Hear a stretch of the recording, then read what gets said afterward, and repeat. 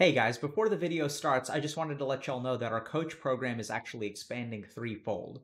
Coaches are all personally trained by me and are there to help you with problems like procrastination, motivation, depression, anxiety, and helping you get unstuck. So check out the first link in the description below.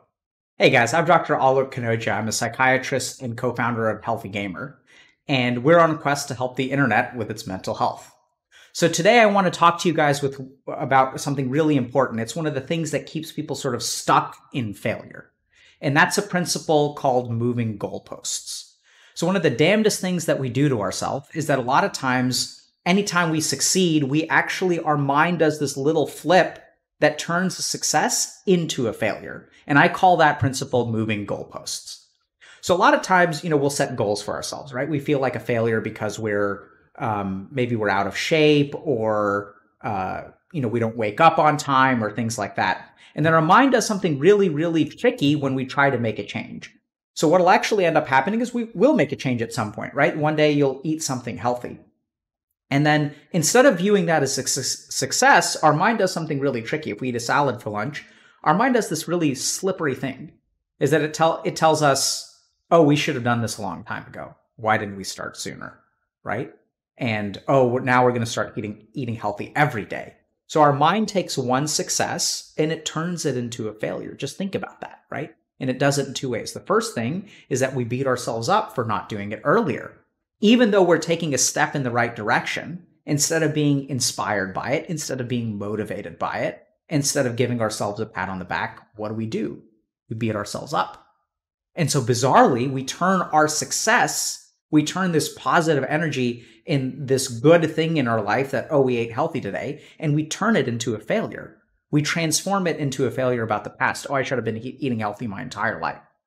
And watch what your mind does. It's tricky, right?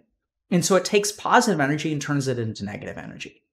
The second thing that we do that sort of destines us for failure is that we take a success and then we move the goalposts. We say, oh, I ate healthy today. Now I'm going to eat healthy tomorrow. The goal that you woke up with today was to eat healthy today. It's not to eat healthy for the next week or the next month or the next year. It was a small goal, and you can accomplish a small goal. You can take one step at a time. But our mind does the damnedest little thing, which is that it takes a success and moves the goalposts on us, right? And then we destine ourselves for failure. So we say, okay, I ate healthy today. Now I'm going to eat healthy the entire week. And that's not something that you're really capable of, right? Because what can you actually do? You can eat healthy maybe one meal. But when you, the second that you have one success, you move the goalposts on yourself and you set yourself up for success or for a failure that, because the success that you want is not really going to be feasible, right? You take taking one step forward and then suddenly you expect so much more from yourself you take the concept of your success and then you move the goalposts. You change the way you define success. Okay, I ate healthy today. Now I have to eat healthy for the entire week.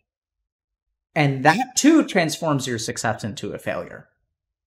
So stop moving the goalposts on yourself. Be really, really careful because this is what leads to a life where you feel like a failure every day. The crazy thing about this is that you're not a failure every day.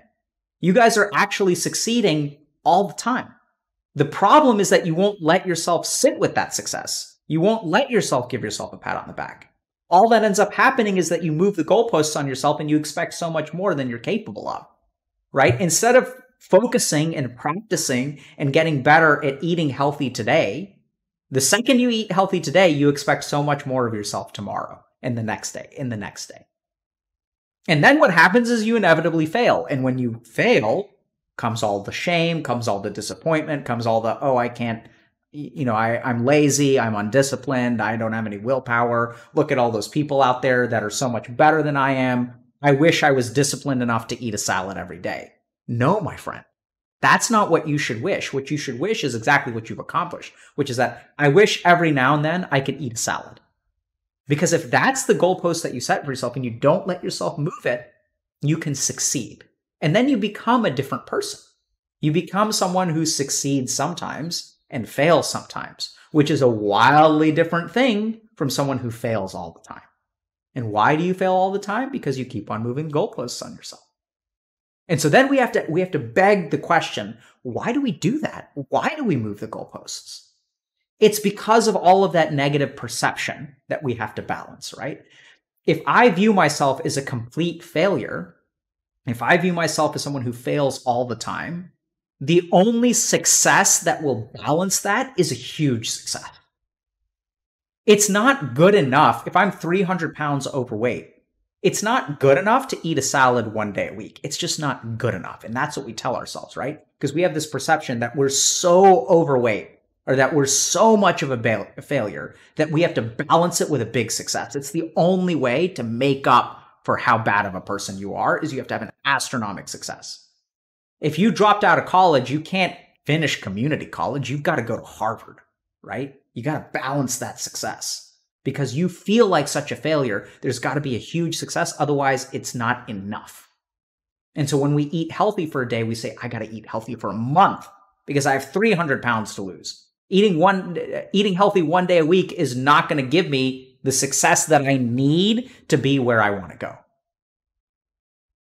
And so we move the goalposts because we've got to make up for lost time, right? We've got to make up for it because we're such a failure. And why do we have to move the goalposts? Because we view ourselves as such a failure. So what happens when we start to see ourselves as instead of a complete failure, someone who succeeds sometimes and fails sometimes? If you start to see yourself that way, then suddenly you don't have to move the goalposts as much, right? You don't have to be an absolute success because you're successful half of the time. You only have to you only have to move the goalposts a little bit more. You don't have to move them a huge amount. You just have to move them a little bit more. And then something magical happens because the less you start moving the goalposts, the more successful you become. And the more successful you become, the more your identity changes to no longer being a failure. And the less of a failure you feel about yourself, the less you move your goalposts, the less you move your goalposts, the more successful you become, the more you view yourself as a success, and the less you have to move your goalposts.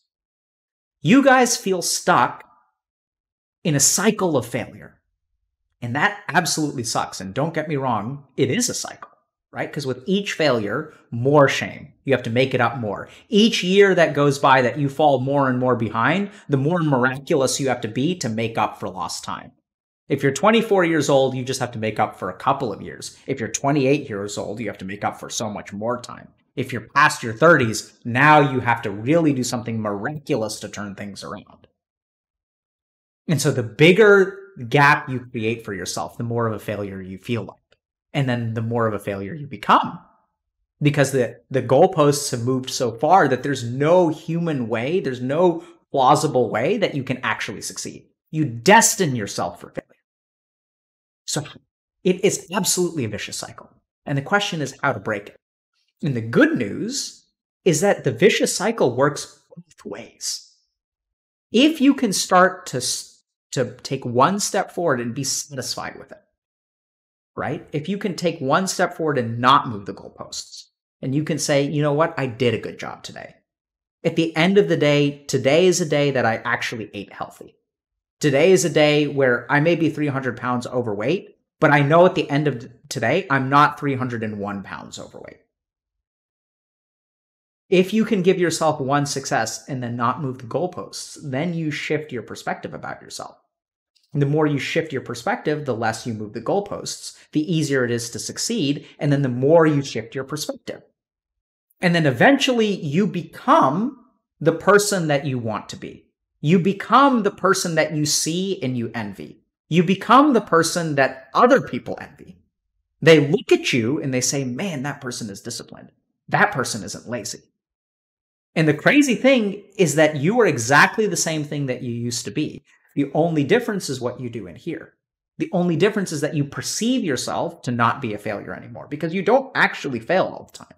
No one fails all the time. It feels that way but you don't actually fail all the time. And then what you focus on is okay, I ate healthy today, I ate healthy today, and I ate unhealthy for the next five days. This week, I'm going to see if I can do one day a week of eating healthy. And then you can do that, right? And then the next day, next week, now here comes the tricky thing. What do you do the next week? Do you bump it up to two days a week? No, no, no. That's moving the goalpost. The next week, you say, let's see if we can do it again. Let's see if we can eat healthy one day a week. And then the next week, do you move it to two days? No, no, no. Still one day a week. And something really magical starts to happen because if you stop moving the goalposts, even though you set your target at one day a week, you'll start to eat healthy more. You'll start to be inspired, and then you'll say, Oh, wow, I actually ate healthy three days a week today. That's crazy. I better eat healthy three days next week. No, no, no. Then you go to two. Be careful about moving the goalposts. The second you start to expect yourself to be perfect every day, the second you start to expect more from yourself than you're capable of, is the second you doom yourself to failure. And so acknowledge where you are and do the best that you can today and set low expectations for yourself instead of correcting for all of the crap that you've had to deal with in the past instead of making up for lost time because it's hard, right? You can't lose 300 pounds in a week, but that's sure as hell what you feel like you have to do. So don't give in to that. Don't move the goalposts on yourself. Expect more from your, less from yourself. Let yourself be worse than you are. And let yourself be successful at taking tiny steps. There's no shame in eating healthy for one day. Create that shame in our mind by moving our goalposts. It isn't enough. I should have done it a long time ago. Right? So be careful. And something magical will happen if you see yourself moving those goalposts and you don't let yourself do it. Because you have to catch yourself doing it first in order to stop it. And the less you move your goalposts, the more your life is going to turn in a positive direction. And that's going to be a vicious cycle too. And that's what happens with people who lose 300 pounds. It's a vicious cycle of positivity instead of a vicious cycle of negativity. And that vicious cycle is born out of not letting yourself move the goalposts. So I hope that this little tidbit and this little insight into why you're doomed for failure, why you're destined to failure helps you because it really does help. As you start to see this stuff happen in your mind, you can see how you work as a person and you can start to make changes in your life. And if you guys like this kind of stuff, if it is helpful to you, let us know by liking or subscribing or commenting. And the more that we hear from you about like what's helpful and what isn't, that's how we know what to do. So thanks a lot for listening, guys. I'm Dr. K from Healthy Gamer, and good luck and don't let yourself move your goalposts.